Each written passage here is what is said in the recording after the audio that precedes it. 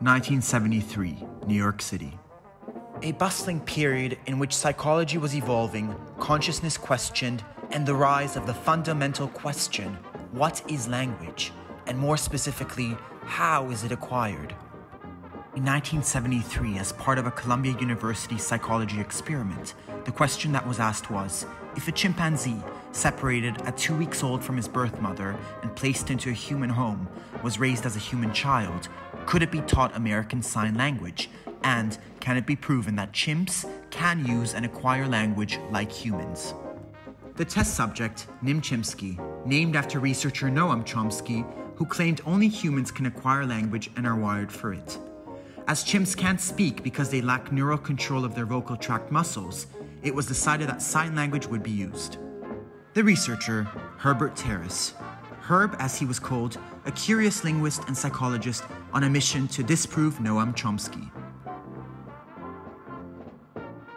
Nim was born at the Institute for Primate Studies in Norman, Oklahoma, and at the age of two weeks old, he was chosen by researchers for the experiment. Nim was ripped from his mother's arms and placed into a New York family living on the Upper West Side.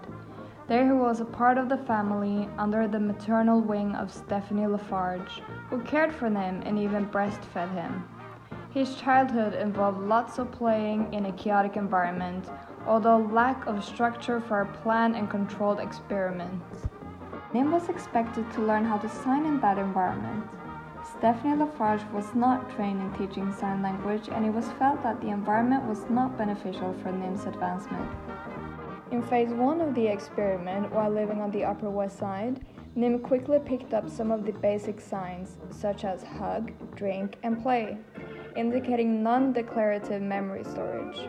As none of the members of the household had any knowledge in teaching sign language, the environment was deemed unsuitable for Nim's advancement. Phase 2 of the experiment resulted after a decision to focus more on NIM's sign language education.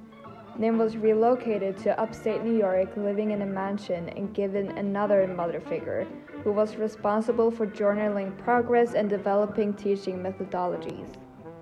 The aim of this phase was for NIM to start combining words into structured sentences. NIM's classes took place in a classroom at Columbia University, described as a dungeon. It was deemed that this phase was unsuccessful and Nim showed clear bodily signs of boredom and disinterest. Instead of showing willingness to learn proper communication, he used already retained sign knowledge and memory to signal his need to use the bathroom, as he quickly figured this meant bringing him out of the classroom. The third phase of the experiment resulted after a stagnation in Nim's signing progress and multiple episodes of anger, attack, and uncontrollability. Nim was sent back to the original laboratory at the age of five, a highly primitive, violent, prison like environment. Nim was abruptly removed from his human life.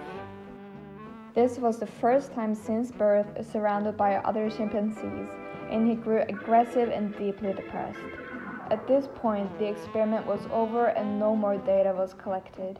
His carers and terrors had abandoned him. He struggled and did not socialize with the other chimpanzees, trapped between the human world and the animal world.